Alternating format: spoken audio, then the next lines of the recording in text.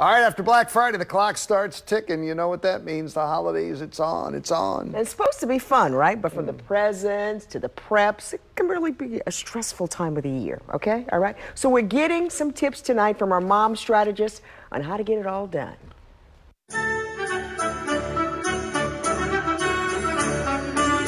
Like it or not, the hustle and bustle is here.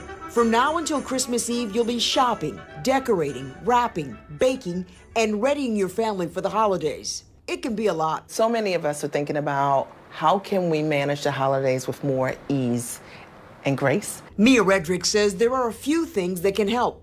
You can start with online shopping. I will buy, you know, four or five things that I know most people love. Okay, maybe my fa favorite soaps or candles, and then I box pack gifts uh, in advance. So if you just pop over to my house at any time, I've got a gift for that surprise guest that came. Mm-hmm. You know, those are the things that are stressful. Somebody that shows up to bring you a gift and you don't have a gift for them. What about a gift for Aunt Anne or Cousin Charlie? The mom strategist has a suggestion for that too. A lot of people love gift cards, and it's because they can choose what they want.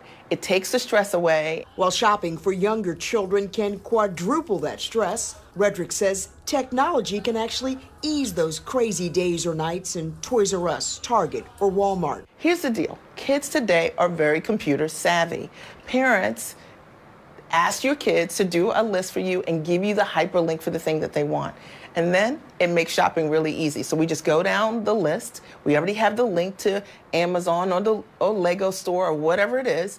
And now we just go and click and buy it. And if you're not home for the holidays? If I'm traveling for the holidays, what I love to do is to send a fruit arrangement. Edibles is great, and they ship throughout the country. I uh, typically will do that if I'm not hosting dinner, uh, and I'll send it to whoever is hosting dinner. Redrick says whether or not you're creating new traditions or enjoying your old ones, Sometimes you just have to be intentional about getting everyone together to celebrate. We're also busy, caught up in getting things done, that we forget to focus on the things that matter most, which is connecting.